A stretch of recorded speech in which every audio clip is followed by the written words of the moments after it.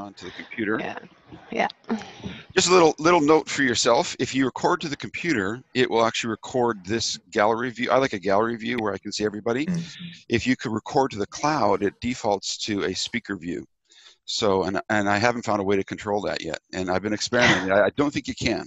So if you really, really like this, this gallery view, you have to record to your desktop. So I want to give you tips as we go along as we use this, little quirks. Um, also, um, I found some quirks in terms of aspect ratio when I was editing this in um, iMovie and then I edited in, in anyway, LumaFusion and a few other programs. There's some aspect ratio issues that you get when you record Zoom. So, so we are live. So welcome everybody. Um, I want to thank everybody for joining us to explore the notion of online blended learning. We're going to have you um, uh, do a few things today. We're going to break you out into a couple of sessions and we're going to talk about ways that we can use online blended learning and aspects of authenticity to make a difference in the environments in which you're finding yourself. And there's going to be actually mostly dialogue, communication, exploration, discussion. Uh, we want to find out what you're doing. We want to find out how we can help you.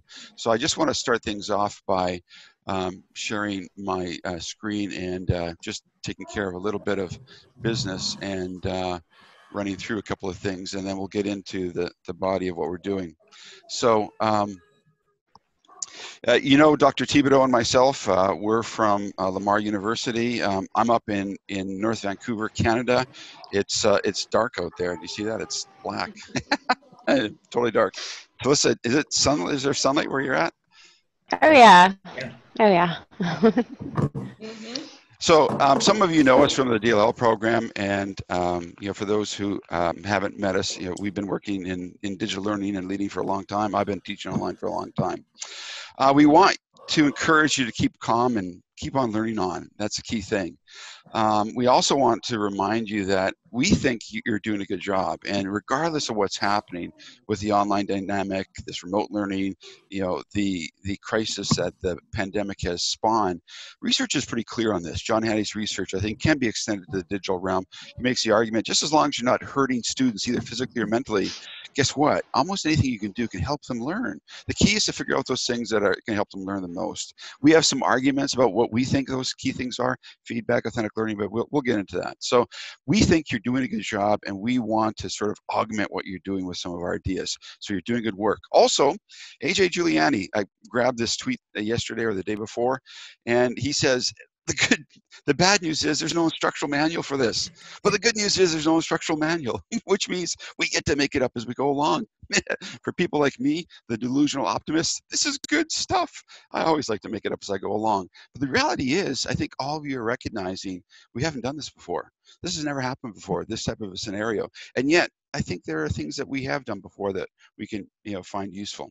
So we we did ask you to watch a video. Uh, I, we heard some of you might not have watched it. It's okay. You'll get to talk to your colleagues. It's about using authentic learning opportunities. Your colleagues will will help bring you into the discussion. So we're we're going to actually break you into uh, breakout rooms where you're going to introduce yourself, and we want you to discuss some of the key insights from the video about the whole notion of changing that focus authentic learning. Dr. Thibodeau or Felissa is going to break you into breakout rooms and and uh, and then you're going to talk to each other and you're going to come back. Okay, so here we go. You'll get a little button to join your room, and uh, I think I have it set to about three per room, and uh, just we'll pull you back in about three four minutes. All right. oh hi. Decided to hang out in one of the breakout rooms this time, see what it's like. oh, it's fun. well, I, Yeah. I also want I also want to see if the recording is going to pick up it's, if it's going to follow my camera. That's the other thing. oh, that's the other that's a good idea. So right right now, Tilisa's going. Oh, where did Wayne go? What's he doing? What's going on? well, because I'm experimenting. so, anyways, thoughts. Authentic learning. It's tough to do. Do you think, or do you think your your colleagues can get it? I think it's um from from me from from my position, you know, what I do, it's I can see it a lot more. I find that my colleagues in the classroom find it difficulty. It's like sporadic kind of authentic learning. It's like they'll teach their content, they'll get all the way, and then they'll come up with the authentic learning opportunity at the end of the of the learning, um, that kind of thing. So, um, but uh, it's not like an ongoing kind of thing, and that's not always, but work in progress. Yeah, I mean, I I think I'm in a fortunate spot. Um, you know, I've been doing the the influencing end for five years.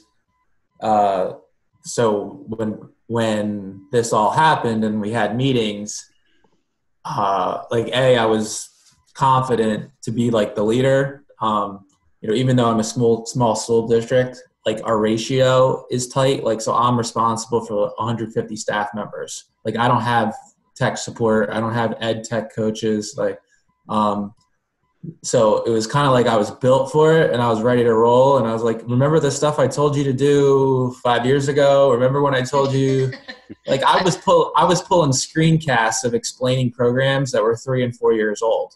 And I was like, I have to make new ones. It looks different. It's been updated. Like it's not the same. Um, but I think because of that, uh, you know, and Dr. H, you know, we always said like, you know, you you appeal through their heart and like, you know, sincerity and things like that. There has to be that emotional connection. And I feel that through this process, my myself and my admin team, we've been very supportive of our staff from the emotional sense of like knowing that their families, they're they're at home, like a lot of my staff has kids. Like I have a very young staff. Hmm. Um, and so if they're worrying about their families and things, because of that connection, people know they have to do this. Like I told them, I was like, this is what we have to do. Like, and, um, like I have teachers now emailing me, look, I just, I got screened, like uh, one of my Wilson certified teachers sent, sent me an email said i'm trying my best and she basically took a course on her own on how to best utilize screencastify mm. for so um like it's like little little wins like that i think are gonna like i'm also optimistic maybe six months from now like when all this clears. Like everyone's gonna have the, the, a, a, basic understanding where you won't have to train as much and it's going to be more this is why we can do it now in addition to our classroom experiences. Mm-hmm. you know? Yeah boy you just gave me an idea for another session where we can talk about this idea that do you really need to train people for that i've been experimenting there uh, with with some of the face-to-face workshops i do and i've been replicating a, um, a harvard study where you had two groups. One group did the traditional lecture-based idea. The other group had active learning, and it, you know this is something that we should talk about. I think I think Dr. T- Thibodeau and I will share um, a session. I've got a turning to the main. Hey. Dun, dun, dun. Dun, dun, Interesting how it broke you out automatically and put you all into. Yeah. I was like, well. So I, I imagine Alyssa, you were wondering, oh, where did Dwayne go? Yeah, I hung out in the room. I want to see if the recording actually picked that up. I, I think it'll be interesting. Yeah, it'll be interesting. So, uh, folks, thoughts? Uh, I, I'm uh, Chad um, and and Jamie had some interesting things, and I think Chad mentioned a point about can we can we extend this? Do you want to just mention that, Chad? This whole idea of after the crisis is over, can we carry it over? Go ahead. Uh, yeah, I mean, I've I've communicated with my staff. Um, for those of you that don't know, I'm from New Jersey, so uh, I think like 350 people died yesterday. So it's uh, like in regards to how we're connecting with our staff, we're we're really worrying about their emotional selves first. And you know, through the DLL program, we always talked about how you had to appeal to the, like the mind and the heart, like you had to get that emotional connection. Um, I'm very fortunate that I've worked where I've worked for 13 years. Um, and I've been like quote unquote influencer for the last five. So I was explaining to Dr. H and Jamie that I've been putting out screencasts that are three, four years old of that I used. I told you about this already. I told you about this already. And now people are like, yeah, like we, we realize that we probably should have. And now they're taking it on themselves to, to figure things out. Um, but I've already communicated to my building because because I'm actually an assistant principal and a chief academic officer. I have two jobs, but um, so I told my pre-K through three, dust settles, you're all going to now be able to use this platform in addition to your instruction, which is what I feel like we've always like. That's the, been the goal. I, I, you know, there, there, there's, there may be some online charter schools, but I don't think anyone really wants their elementary kids to to do this unless they choose to, right? Like homeschooling. So if if public education now, and and I only know this in my state, but you know, I had a meeting yesterday with a lot, lot of decision makers. Um, like everyone's shifting their funding to like you didn't have devices before, you're going to have them now. If you didn't have mobile hotspots before, you're going to have them now. Um, so I think that is going to hopefully be the you know the silver lining through all of this um, because I think people not only are thrust into it, but some people are realizing that it is an opportunity for them to be a, become a better educator. Great, thanks. Other thoughts? Other thoughts, folks? Yeah, I have a thought on that. The unfortunate thing is, why does it take a crisis to kind of move in that direction? You know, I kind of was hoping that we would move in that direction a bit earlier, but mm-hmm. that's the reality. I mean, that's my only thought on that. That's a good point, though, Chad. I, I appreciate your insight. I feel like I'm already seeing a backlash by some more traditional teachers that are that are just lecturing, or maybe their students are writing handwritten essays on camera, screenshotting, um, and are going to say after this, like, "Yeah, okay, fine, I can do it either way, but technology doesn't help or hurt." Um, mm-hmm. Because when it's forced, uh, in a similar vein, there's this article here uh, it's a little bit more. Um, it's got some more extreme language, like it's unethical to to teach at this time. So it's a little bit more extreme, but it does talk about how this isn't online learning. It's not distance because those exist. Those there's frameworks for those, and you know when you make an online class, it's difficult. It takes a lot of time. So we're not making online classes now, and if to call it that, I think it's going to leave a bad taste in some people's mouths to say, yeah. like, well, we already did that and our kids were fine even though mm-hmm. I didn't really, you know what I mean? Um, That's what I was worried about too. Like they are forcing say, it is, yeah. Mm-hmm, they're going to think this is it. This is what it's supposed to look like, and it's not. Yeah. So I agree with you on that one. It's so funny because that was my blog post this morning. that this is mm-hmm. not distance learning. It is not homeschooling. It's somewhere. It's forced upon you. It's not a choice. It's not something you planned for. It's not something you created. It's it's just there. Mm-hmm.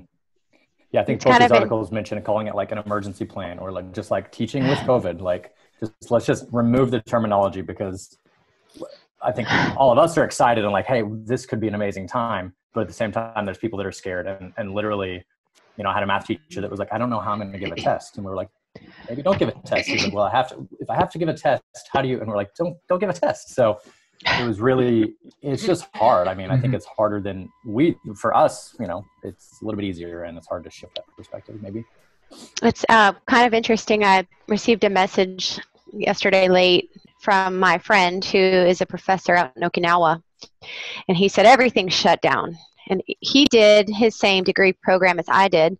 He said everybody's in a crisis situation. Now we've got all of a sudden, he's like, I'm updating my Moodle server and I'm trying to get all these things ready to go. And he said, I just don't know you know they start their year i think april 2nd april 3rd is when their year starts you know so they're they run differently than we do in the us and he said all of these professors are trying to figure out how to turn their lectures and put them online he said and the problem i'm having is students are already falling asleep in class when we're lecturing and lecturing so they're seeing this over there even in japan where all you know this trickled down even faster than over here as an opportunity to just put my lectures online and this is where we have to kind of i think help them see there's another way to do this.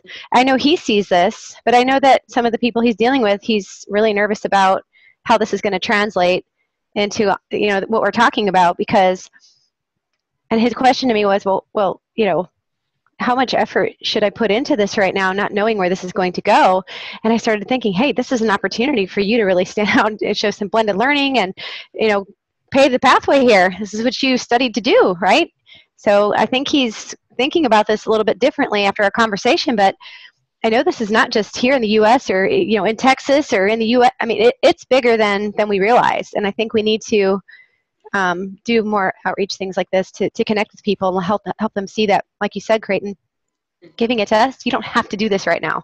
And going back to Chad's thought, we need to take care of our teachers and give them time to be able to change, you know, learn this and and um, push on the buttons and what does this do and be inquisitive about it, right? Um, we need to give them time and, and understanding in that way, and I respect that. So I'm hoping that I can help him through this. Just a so, thought I had. So on that note, um, I want to sort of pull some of the ideas together and, and just run through a couple of thoughts, and then we're gonna, we're going to break out again, have another discussion, and we're going to actually this is what we're going to do all morning. We're going to be talking, sharing ideas, because isn't that what Yeah. technology's for? To come together and share ideas. it's not for me to deliver content, although okay, I'll give you a little Right. content, right? So, um, but really, what I'm doing is I'm sort of planting some seeds and I'm sharing some ideas, and so um, I think it's important that that you know in this type of environment, I'm trying to model some things that you might want to look at doing. So.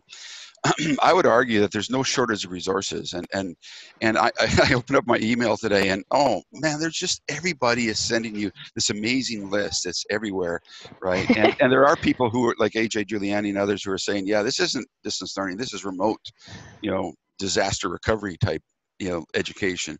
There's no shortage of resources. They're absolutely everywhere. We have some at lamar university when you go to the website. There's spreadsheets there's different blogs. Everybody every association is pointing to stuff. George Couros and aj Juliani all these people are pointing to good stuff. Yeah, they're trying to sell you their books too but hey they, you, why why waste a good crisis right?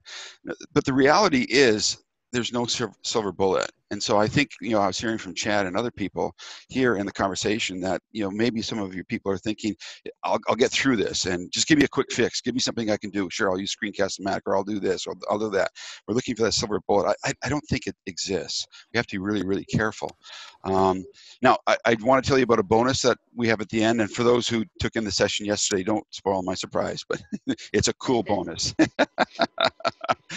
what we do have is a shortage of focus and context. Uh, uh, and and you know I wanted to watch that that video about that change of focus to think about the fact that we want to have people doing real stuff, students doing real stuff, and authentic learning opportunities. And we're going to talk about some of those in just a couple of minutes here and some examples. I've got a list of examples that can be used in elementary to higher ed, but maybe more towards the, the high school. Um, you know, those authentic learning opportunities can provide the context and help. And if you can change your focus a bit to look at those opportunities and then create the context in in the learning. So don't take my word for it. There's evidence. There's there's been a ton of evidence for this. This this article is in the resources section. Authentic learning is one of the key things to effective online learning. You know, you want to use media technology for creation, not for delivery. Students want to do real stuff together. They want to collaborate. They want to become self-directed. They actually want to take control. They do. Research is clear on that. And ideally, we want to look at ourselves as coaches, not necessarily content deliverers. Now, this is a hard message to get over to your colleagues, right? But the reality is, is that we we want to be those guides on the side. I think Jamie had mentioned that yesterday. So it's important. And and you know th- this lecture hall which we might have seen in our classrooms now changed. We, we we can turn a lecture hall into you know a virtual lecture hall through zoom. But we don't want to do that because our kids they want to do stuff in the real world. They want to use technology to solve real problems whether it's biking scenarios. I use my boys as an example. Um, everything the whole world's information is available to us in our palms our hands whether using an ipad or a mobile device or an iphone. We can access information. You don't need to deliver information and and students they don't want to make a prezi. They don't want to start a blog. They don't want to create wordles or do a, a animoto or you know a kahoot or use a whiteboard or to develop app. No no they want to drive change. They want to take action. They want to make a difference. They want to do something significant. They want to find answers. That's the key thing. They want to start conversations. So um, the reason I, this is important is that I've been doing a lifelong experiment on on authentic learning, and I've been using everything from planning trips, documentaries, investigations, doing science as opposed to learning science. And this can be done at all levels. And Chad's going to talk a little bit more about perhaps an elementary focus. But um, I've actually done all these things even at the elementary level, connecting with communities. You can get kids on Skype, on Blue Jeans, on on Zoom to maybe talk to people across the world. Even in, even in elementary uh, level, you can have kids doing that with guidance and direction. Getting students to actually you know engage in the e-portfolios. The maker spaces can happen if you're fortunate enough to have a kitchen, a garage, a shop, or a basement. Computational thinking can happen in a day-to-day setting. And the reason this is important is that I have a real-life example in my longitudinal study. My boys' projects have gotten big. They're a little bit more expensive. My older son is a professional downhill mountain bike racer and, and enduro racer. And you know, one of the challenges you face when you do authentic learning with your kids is that they're going to grow up different. You know, my, my boys are still doing what they did when they were kids. They're still riding bikes, right? But they're getting paid for it. And my younger son is still playing with cars. but he's got his, a business where he builds these custom cars. So a, a, lifetime of authentic learning right from elementary school on up enabled them to actually make a bit of a, a difference in, in their world, right? So your authentic learning ideas. So Chad, you, you, you wanted to jump in and, and provide a perspective before we break into another breakout room. Go ahead. Oh, you're back. Yes. Yeah. Um, yeah, it seems when I'm muted, when I unmute, it, I have to refresh it a few times. Um, uh. So the, the one thing that I commented on yesterday when we had our second breakout after Dr. H's presentation was that um, authentic learning examples that we usually provide are, are self-motivated, self-driven, usually with um, like someone a teenager, high school age, or, or beyond. Like for example, we're self-motivated by participating right now in the in this session when all of us are probably also responsible for other things in the schools that we work in. Um, so with, with younger kids, and, and I work with preschool through sixth graders, um, you know, before this, we had a lot of things going on and set up in regards to authentic learning experiences, including what I think um, is the easiest one to maybe continue, which was a lot of community service based projects. Um, for example, one that's happening right now, we had a teacher who's fostering dogs during this crisis and realized that the, the, the company provided all of these toys, and some of them were um, kind of like homemade. So she created a video on how to make the toys and is going to post it um, to our district Facebook page to encourage students to then make their own dog toys to then mail them to the collection agency that they can go out to the fosters.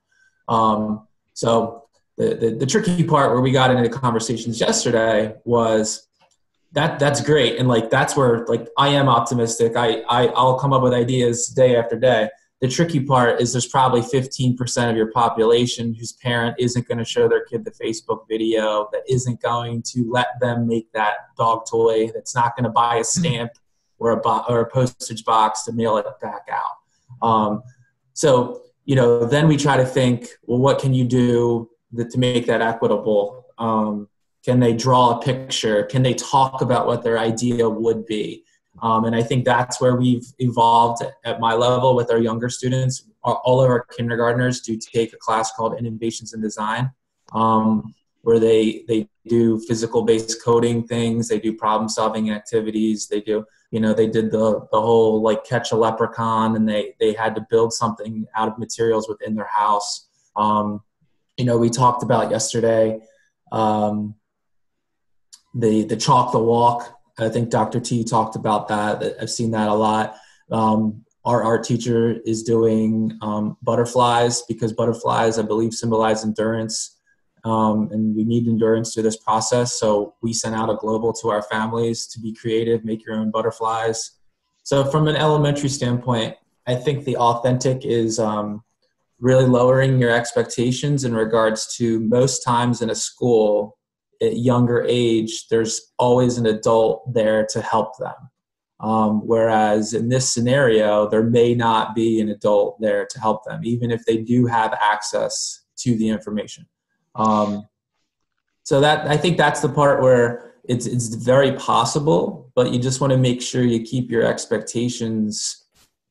I don't want to say minimal, and, and, and like realistic's even a hard word to use, but you, you want to keep your expectations, I think, fun and and motivating. So if you know that kids will like to do something and then you can provide different options like i feel like the arts right now are, are what everyone's doing. Everyone's crafting everyone's making slime everyone's doing a, a you know some type of project if if they have access to those things. And and i've told my staff um, you know because they are concerned. They have parents that haven't responded to an email in two weeks. They have kids that haven't posted anything to their seesaw you know that's my job to worry about it. That's like what i'll do. I just keep telling them do your best. Like if you like whatever you prepare if you do get three parents emailing you back thank you this helped so much or it was a family activity that we enjoyed um, then that's i think that's what we get out of this. The, the negatives are going to happen unfortunately and it's going to be something that's going to really come to light out, out of this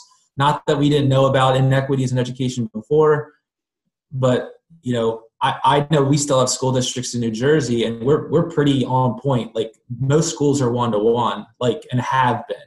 But there are some schools that are doing paper packets during this process. Kids are picking Kids up are. kids Mhm. are picking up packets. Um, so they're not even doing digital learning. They're they're they're literally picking up work and, and doing it.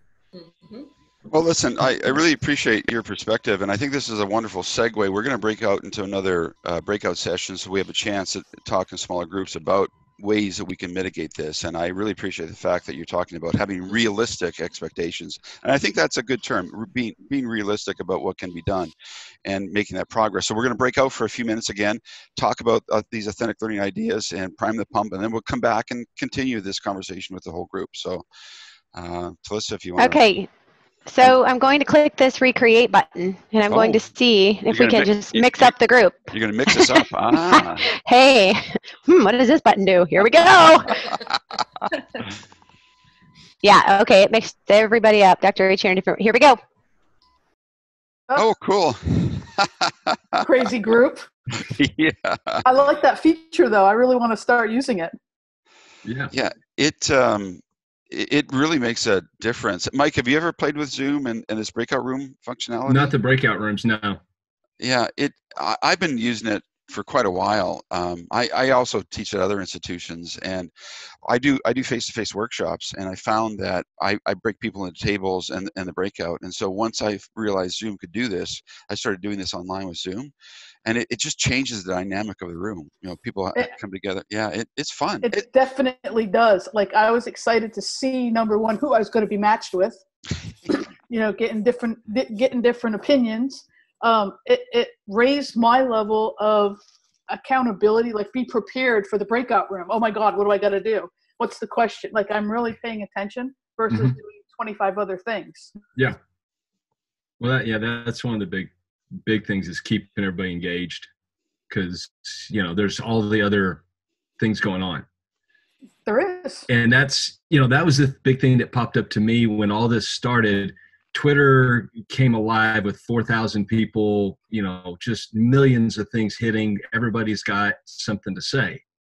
And there's just this deluge of information. And then my wife and I, she teaches middle school drama, and I teach high school, and putting together things for the kids. And she had them do a video just saying what how they feel about things and all of that. And then I got looking and her for most of her kids it was the fifth video they had done of that same thing but they all had slightly different things they had to do so they couldn't turn in the same video they couldn't do the video once and turn it in five times they had to make five different videos that were all slightly different but the same thing and just that there's that whole deluge of just all of these things that are happening and everybody's kind of doing you know the kids are getting hammered. My sister teaches um, she's she teaches and then has elementary kids and was noticing some of that even with the elementary teachers that you know if the if it, if the the teacher would do if she had one teacher they were doing the same thing but when they broke to like um, her oldest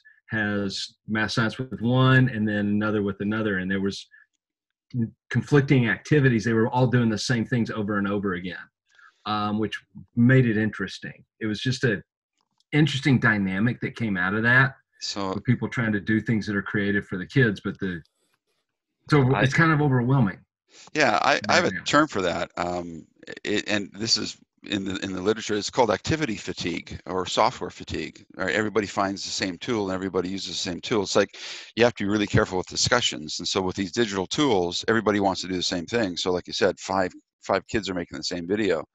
You know, it, it'd be interesting to have those teachers come together and the five kids go across a curriculum and make a video that fits all five of their subjects. Wouldn't that be a Yeah. better thing to do? That's what I was thinking. Yeah, Yeah, yeah. So that's it, the, the that's where you really take advantage of the Or have opportunity. five kids make one video. oh yeah, or do Mhm. you know uh, do a mashup, right? The the Yeah. opportunities are Interesting. I note that nobody comes back early. Everybody waits till they get kicked out. This is like a love hate What is that? Relationship. Last moment of a voice gets cut off. and, and I just want to I just wanted to say this. You- you put it- It's a love. It's a love hate relationship. it's so great to hear from like-minded people. Like ah, like you get it. Here we are. Yes, for sure. Awesome.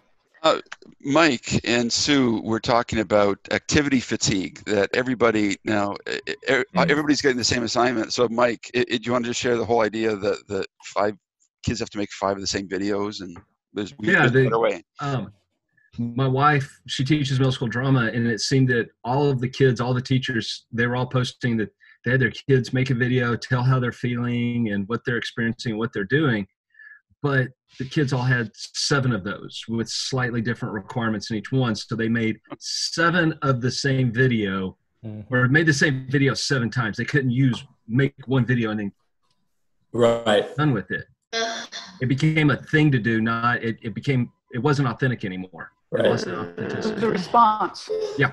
Yeah, we- activity we- activity fatigue Yeah. and we, we suggested that instead get those teachers across the curriculum one video and have kids integrate it Hmm. sorry go ahead Mhm. No, I was going to say I would. I don't know how many uh, have the ability to influence like the or they're a part of the decision making process. What we did was like for something like that, we changed. We re, re, reinvented our schedule. So we essentially said the entire district does these classes on these days, um, and then the grade levels had to break out within themselves. And if you you before the closure, if you were on the same point on a scope and sequence, you all pushed out the same information and you took turns who made the videos. This way you also would share the load of like your your planning and things. But if you were ahead or behind, you had to personalize it to your students um, just based off of like where you would. You didn't want to have like what you just said. You didn't want to have kids doing the same the same things that they were already done before. Mm.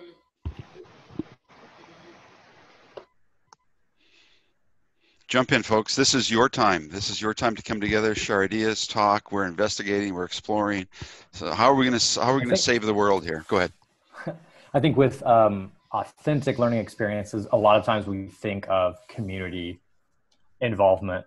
And now that most of that community is going to be online, at least for the foreseeable future, for the end of this semester for most of us, that's been daunting. I started a unit all based on the UN sustainability goals because it's all in Spanish. They have all like this really un, uh, like comprehensible Spanish. So we were started right before spring break. It was like you're going to actually create a product it could be a prototype i don't you know we was really getting to design and then now it's like do we do the same thing and just say what would you do do we you know i've had some kids that are kind of try and do things online but um, i think the authentic part of it has been pulled away from some of it um, to keep it all to keep it in spanish. Like that's my concern um, Hmm. even if it's just minimally in spanish. So that has been a little bit um, difficult but the students all came back and i said like do you want me to just push my curriculum? I, I had a big feedback day yesterday and the day before and most students were saying like we get why project based learning works especially now like they're really competitive so they don't want to get something where they could cheat because they know someone would cheat so they were all talking about like we want to do a project let's figure this out so the cool thing is that they're pushing me and each other to figure out how to keep doing it um, in an authentic way Wow. but um, I, it's my struggle whereas i could easily just do a couple completion based assignments each week and sit back um, Mhm. so i'm just kind of writing that balance that a lot of teachers are of like Mhm. how much do i do how much do they do Gosh, but it has I love really that opened example. communication so that's I cool. really love that. Think about what you're what you post for them to do, an authentic, real, you know, problem to solve, and they have to do it in Spanish, and then they have to figure out how to take this and do it digitally. The layers there, Mhm. that's really cool. And if you're open enough, like you said, it's not about completion; it's about navigating through that mess of what we call learning. yeah. It's a, hey, if it's a little uncomfortable for those kids, good for them. They're they're going to learn t- learn and take more out of that. You got to have drop in some reflective, you know, reflections for those Yeah, kids I- as they in Spanish. I mentioned like a, a learning log. I don't know. How, I was like, don't start it yet because I don't know how I'm gonna even Yeah. process that. But be thinking about it, and then I just started cracked open a book that I got at TCEA that's blended or balanced with blended learning, and the first chapter is about grading, and grading should not be about the product but the process. So I'm kind of gonna just use this opportunity to supersede what how we do grades in our district and um, Grade on the process. Hopefully, we'll see what comes out of it. I think Dr. H and I, you know, in the DLL program, we do a lot of that. We look and we go back and revisit, look again, help out. How can we help you? How can we get where you want to be? Not necessarily where we want you to be, Mhm. right? And that's the perspective. We go back and we look many iterations, and that's not something typical. I don't think happens in a lot of institutions, but I think what's really helped for people that are trying to do things like this is our district said, don't worry about what they're not going to learn. Even though they've said that, our superintendent said, mm-hmm. whatever they're going to miss, don't worry about it. Just do things that you think are valuable. So that's been a huge weight lifted off a lot of teachers' shoulders. So like hmm. now I'm not even worried about the product. I'm just I am more.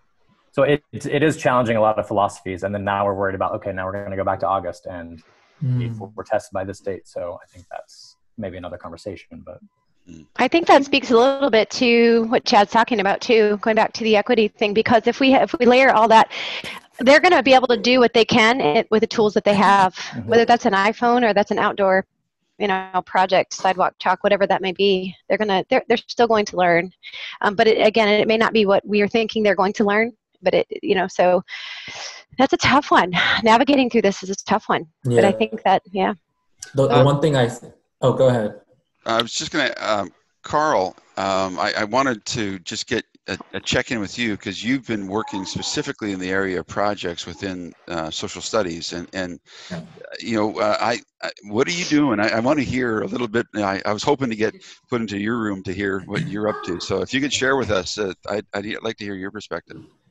Yeah, and that um, you know, started talking with uh, guys in, in my room, and um, we got kicked out so early. but um, no, it uh, what I, I'm exclusively project based. That's our whole class, and um, and so that's been a, a real challenge because I'm used to just telling my students, you know, information is.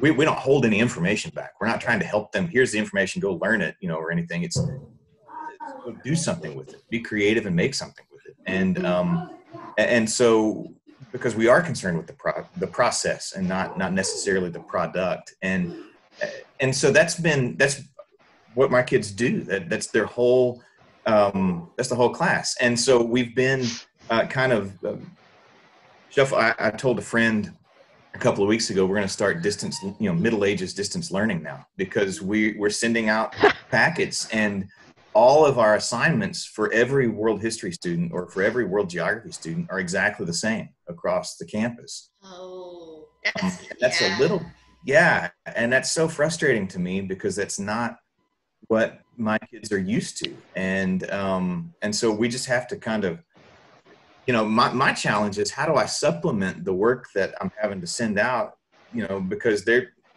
my kid what what the what we were told to do is the assignments for the week need to be able to be completed in an hour. Okay. Um, so the stuff that we're sending out my kids are doing in 20 minutes and they're sending it back going what else? What else would you like me to do? And so now we're just having to i mean it, it's kind of cool because we get to ask challenging questions and say all right what, what would you do with this? How would you uh, approach this? And and uh, you know one of the things i'm talking about with my world history students uh, this next week is looking uh, looking at government. And I had a conversation with a friend yesterday who who said, um, you know, if if you wanted to shut down a government, this is do it. Um, you know, if you wanted to institute martial law with someone, this is exactly the process that you would do it.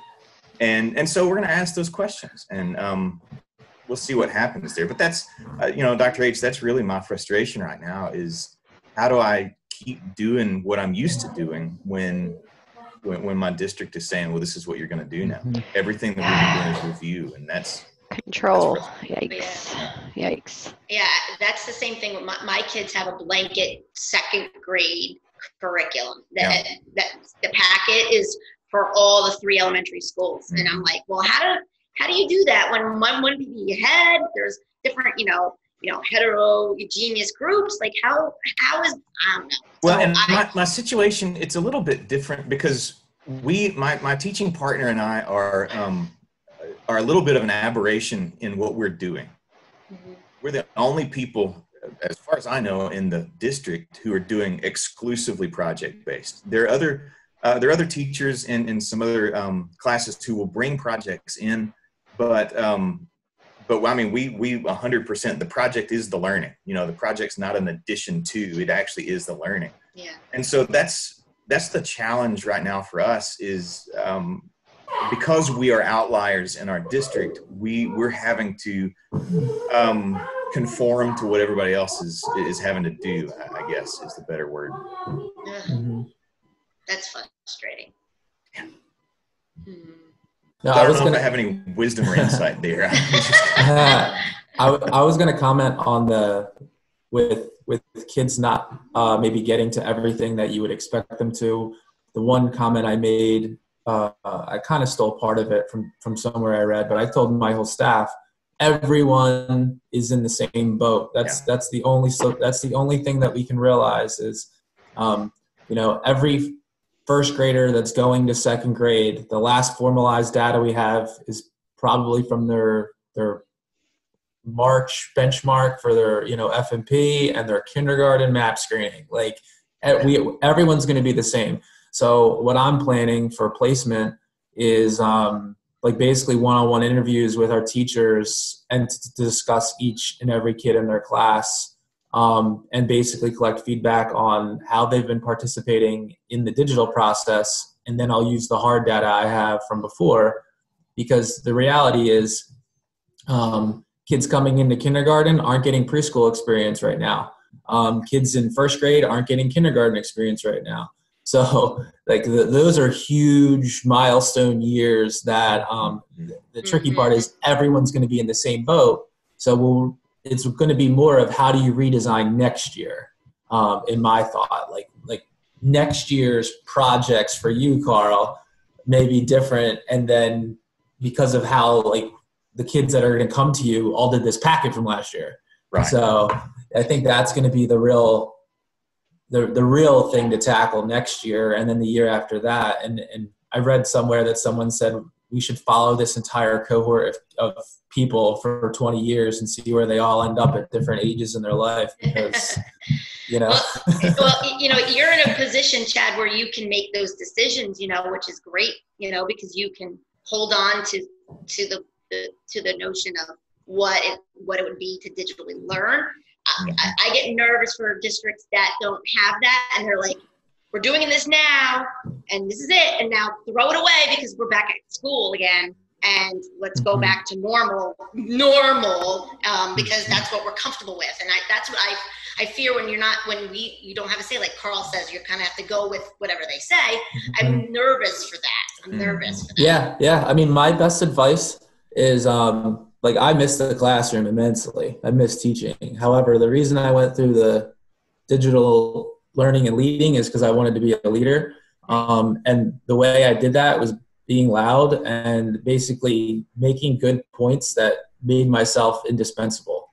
So like right now, I don't I don't like it. My superintendent isn't doing shit, but it's because sorry I said, said a bad word. Um, um, but but she she she's a good leader because she is delegated to us our responsibilities and she trusts us to do what's best for for uh, for our kids and for our families. So you know in a sense i'm mad because i'm not getting a lot of um, like feedback from her but at the same time i have complete power to, to make these types of decisions. So i think that's the part like if you're still in the classroom and you want to become some type of leader um, if you make good points like carl you're making good points great and you're making good points like if you have a desire they'll hear you um, and that's how that's the whole point of being an influencer even if you remain in the classroom but you may not yesterday we had people that are teachers but they're invited to certain meetings because their their opinions are valid and they've been heard by their administration team Mhm. Excellent points. Yeah. Sarah, did you, uh, you, you've been taking this in, just thoughts. I, uh, I have been, and Chad, I just wanted to. Uh, that's what I was typing in the chat. I was like, "Hey, listen, you might want to call that a blessing that she's not saying anything, because we've kind of gone back and forth. Um, here, we are a very small district. I am a very small district. We are all in one building, um, K through well, pre K through twelve. Um, but we have been down that road where the superintendent had to be our principal for amount of time. And so her coming back out of that reins and back into the superintendent job has been very, very difficult for everyone because of the micromanaging at the building level. So I would say it sounds like you know exactly what you need for your for your people and for your kids. So just go with it. And I think um, if you want to twist it and spin it in a positive way, that maybe she has so much confidence in what you're doing that she doesn't need to tell you anything. So um, you sound very confident, by the way. So.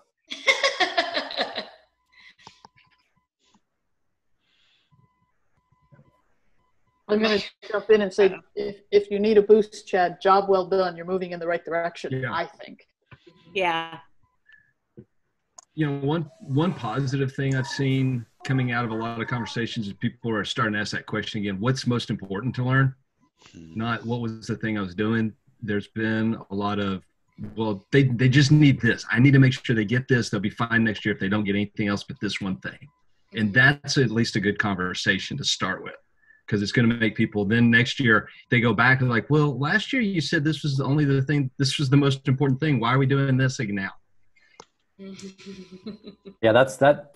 That's some of the conversations I had with students and a couple teachers. Is okay if you were there's a math teacher that is notorious in tenth grade, and I'm the tenth grade advisor, kind of. So they vent to me about this teacher, and I said, okay, you're no longer sitting in her class for 80 minutes every other day, but she is not. She has not stopped. She's same expectation, same amount of work, maybe even a little bit more. Oh, um, do you guys think you're learning? And they're like, yeah, absolutely, we're learning. And I was like, well, how many how many hours a week are you spending on math? And it was way less than the amount of time they were sitting in class. So we had that conversation of like, what what are you doing in class all day? And in my class, what are we what are we even doing all day? Like, if we only have one thing per class or per week to learn, why are we spending hours in the same building together?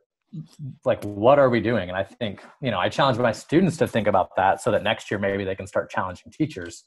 Um, and it's also a better selling point instead of having a bad taste in people's mouths we can tell teachers like look your students learned here's some things that they did learn and they were one hour a week or two hours a week or whatever the minimum standards were. So those are really good positive conversations and they're challenging but um hopefully that's a positive going into next year.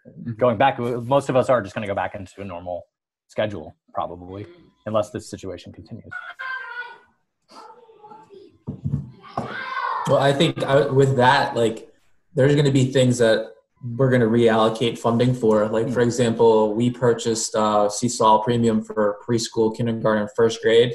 I bought a I bought a three year license. I was like, I, like I'm not going to just buy it for the 60 day trial. Like, we're going to get it, and you're going to use it from now on, um, because essentially, it will. Like, parents are learning how to use it now. The kids are learning how to use it now. So why not take advantage of that? Like, mm-hmm. we've joked we're never going to have a snow day again. Um, and, I hope not. That'd be and- nice. and the the ironic thing, and I, I said this to my wife last night, like in um, my career as a as an educator or as a student, this is the first time in New Jersey we, we ne- my school district never had a snow day or delayed opening Me too. Yay. So of course we then have a pandemic. So It's true. um, I, I I really miss snow. So, so what, what I'm hoping is that the, the things that go well are able to translate and continue into learning. Mm-hmm. Um, and by you saying that we didn't just do the free version, the 60 day version, we're going to commit to this, and this is how we want to connect home to school.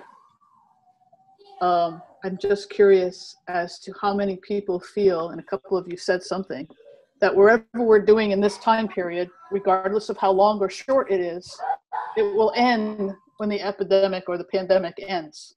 That, Yeah. That's very unsettling. That's very scary. Um, quick thought here. Jennifer, you've been kind of quiet back there. What are your thoughts on all this? Um, I, like I said before, I'm just happy to have some like-minded conversations here. um, just that I, I just wrote that in the quote though. Um, if we're only supposed to be learning one thing a day, or if that's the most important part, what what are we spending so much time on? Why why can't the kids get more project-based learning and we don't we don't have time for the 45 minutes for genius hour we're doing genius hour this time to this time why why if you just narrowed it down to that time but I know why. yeah I know why. Because we have taught kids how to go to school. yeah I, the adult, tell you, tell you, tell you. You, the child, spit it back, and we repeat. Tell, tell, spit, spit, tell, tell. spit. so now, when you ask them to learn on their own, hmm I can't do it. I don't know how to stand on my own two feet. I i Okay. that- That's a good point because I was thinking of something earlier, and you might dispute me on this, and feel free to do so. But if we tell our teachers exactly what to do and how to do it, then guess what? They're reliant upon the system, just like our students are reliant upon them. This is true. Mhm. And I think if we don't give them that professional right to be creative and try some things, yeah, they might band together. Yeah, they might do the same things, two, three teachers or a grade level. But to get to, to move away from the just the content delivery model and maybe doing a, little bit more of what Carl's talking about, maybe that's a next year thing. We have to give them time and give them some opportunities to play, experiment, and grow. So where they are now, I doubt next year they'll be the same, especially if they have leads like Chad who can influence them that way. And I think that even in the classroom, as Chad was talking about, you have a way to influence everybody around you if you're doing something different, like what Carl's talking about, Mhm. what Creighton's doing. the opportunities are there. It's just a matter of helping people see that, go Mhm. there, try Let's that, try experiment, Let's new try culture of learning. Mhm. Off my shtick. No, I, I think that I'm sorry. Go ahead. I- good, Carl. I, I do have a Uh, point, well, but I was and gonna I'm watching the time too. But go ahead. Yeah, I, I was going to say that um, exactly what Dr. Thibodeau was just talking about. When we stopped telling our students what to make, and um, and started giving them information and said make something, and they are the ones who banded together themselves, and they were the ones who were then able to express their creativity. So I, I love taking that same idea and moving it to the teachers instead of telling them what to do. Say here, go do something, and then yeah, you're right. There might be pockets of teachers who do the exact same thing, but they came up with it on their own, and they decided that's how they wanted to. But if they embrace the "we are all learners" Absolutely. Yeah. that's what we are right now. We're Yeah. all learning. So whether it's a, a, a seven-year-old or a, a 40-year-old, a 50-year-old, we're still all learners. We none of us have it right, but some of us are moving in a positive direction, and that needs to start rippling out. Mhm. Yeah. And with our parents. I didn't hear that. What was that? I said, same, same with our parents. We need to let them know that they're learning also. Like We're all learners. Yeah. Yeah.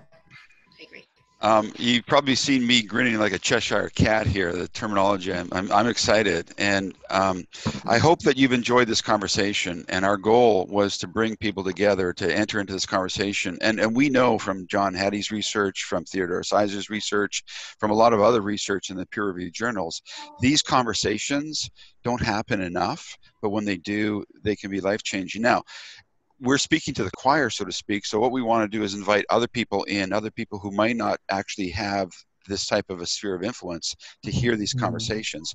Uh, Dr. Thibodeau and I are going to throw out some ideas in an email for some other conversations uh, about active dyna- uh, active learning compared to traditional learning and showing how if you do a few subtle things, it can make a big difference. So we're going to throw those ideas out. Um, I'm, I want to respect your time. We've got just a couple minutes. Uh, I want to I want to show you the bonus real quick and then just wrap up and then you know feed forward a little bit in terms of where we're going. And, for those folks i apologize. It, uh, you know you've seen my joke and it might not be that well just bear with me. Just bear with me folks. I'm, I'm gonna bring this up here.